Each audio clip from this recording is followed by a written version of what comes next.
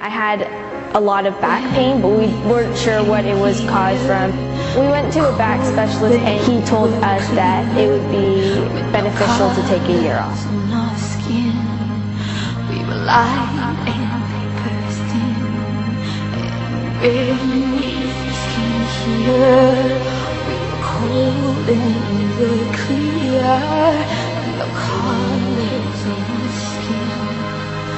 We let Say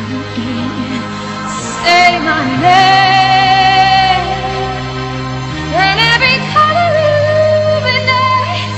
We are shining. And we'll never be afraid again.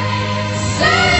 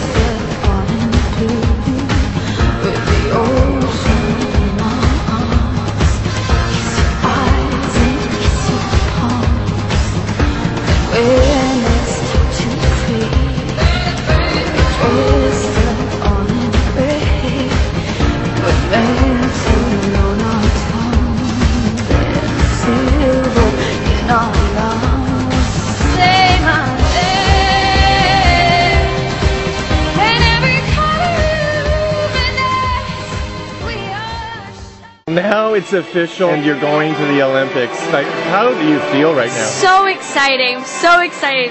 It's amazing. It's the most amazing feeling I've ever had.